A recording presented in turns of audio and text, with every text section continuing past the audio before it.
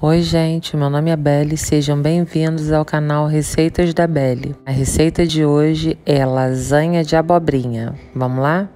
Os ingredientes para essa receita eu vou deixar na descrição do vídeo.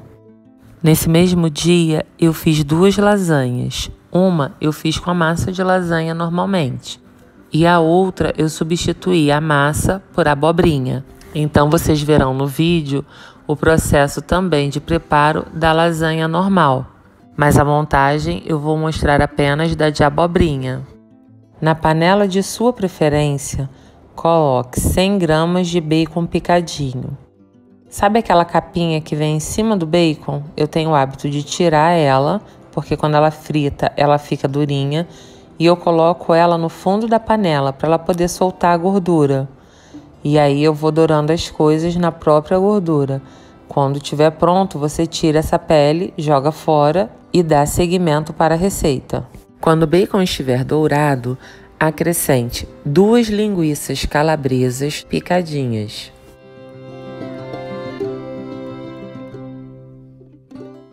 Quando a linguiça e o bacon estiverem prontos, retire-os da panela com o auxílio de uma colher.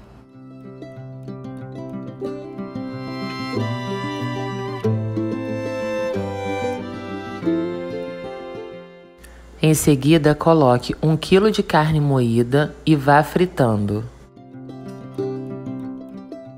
Eu costumo usar um garfo para poder soltar a carne moída e não deixar ela empelotar. Quando a carne moída tiver chegado no ponto, acrescente uma colher de sopa de alho picado, duas cebolas médias picadas e mexa até a cebola murchar. E aí, você é novo aqui no canal? Então se inscreva e ative o sininho de notificações. Assim você fica por dentro de toda novidade que pintar aqui no canal. Semanalmente são dois vídeos, um na terça de doce e um na sexta de salgado. Quando a cebola estiver no ponto, acrescente dois tomates grandes picados e mexa. Em seguida, acrescente um cubo de caldo de carne, uma colher de chá rasa de pimenta do reino e sal a gosto. Após adicionar esses ingredientes, vá mexendo para que o tomate murche e solte água e até dissolver o caldo de carne. Eu comecei utilizando a frigideira, pois por ela ser baixa, ela iria esquentar mais e acelerar o processo do bacon, da linguiça e da carne. Quando eu terminei a primeira etapa do processo e transferi a carne para a panela mais alta, eu acrescentei o bacon e a linguiça que havíamos separado e acrescentei uma colher de sopa bem cheia de coloral e misturei bem para que o coloral fosse totalmente incorporado à carne e aos demais ingredientes. Feito isso, eu acrescentei um sachê de molho de tomate. Misturei bem e em seguida acrescentei um copo de 350 ml de água, mexi e mais meio copo de 350 ml de água.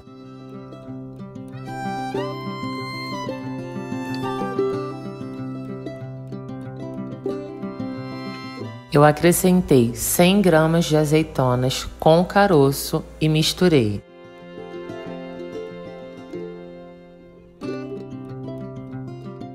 Como eu gosto que o molho da lasanha fique bem vermelhinho, eu achei que era necessário acrescentar mais um sachê de molho de tomate. Misturei bem e deixei ferver por aproximadamente 5 minutos. Agora vamos ao preparo do molho branco.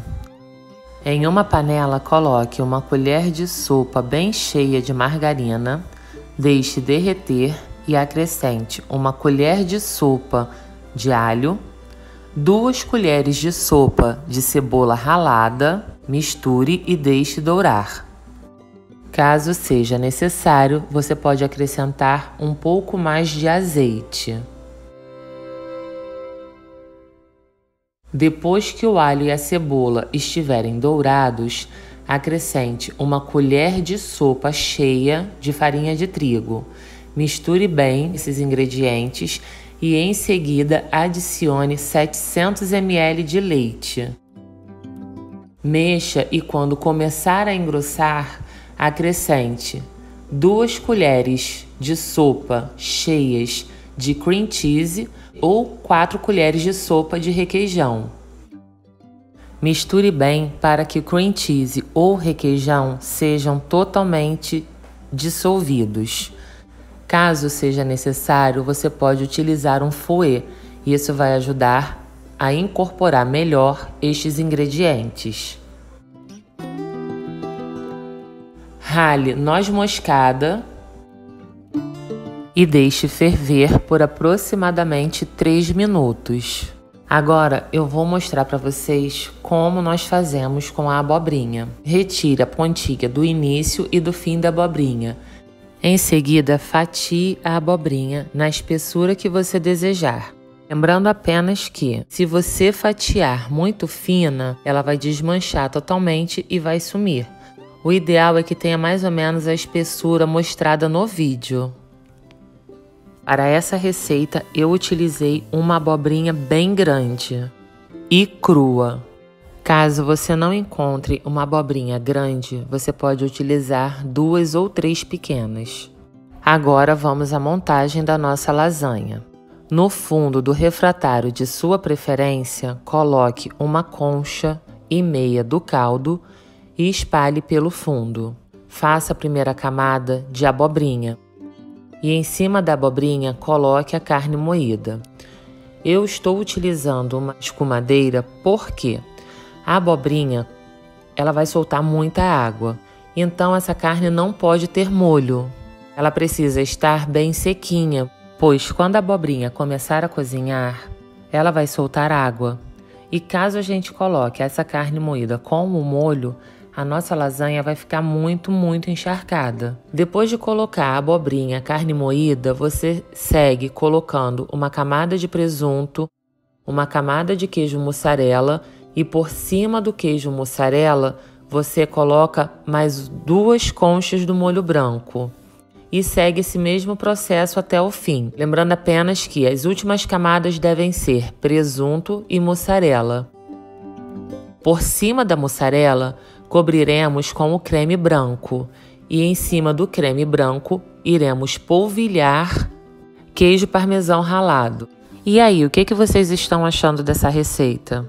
Me contem nos comentários e não esqueçam de se inscrever no canal, ativar o sininho de notificações e dar aquele tapinha no like. Além de ficar por dentro de toda novidade, você ainda ajuda o nosso canal a crescer. Gente, como a abobrinha é um legume de fácil cozimento, essa lasanha não leva muito tempo de forno. E você pode optar entre o forno ou micro-ondas. Se você quiser assar no micro-ondas, serão 10 minutos em potência alta. E se você optar pelo forno, o tempo será de 15 a 20 minutos em forno pré-aquecido a 200 graus. Caso você não queira fazer com abobrinha, você pode substituir a abobrinha por berinjela ou pela massa de lasanha. O processo é o mesmo. Bom, então é isso, gente. Espero que tenham gostado e se gostaram, deixem o seu like se inscrevam no canal e ativem o sininho de notificações. Um beijo e fiquem com Deus.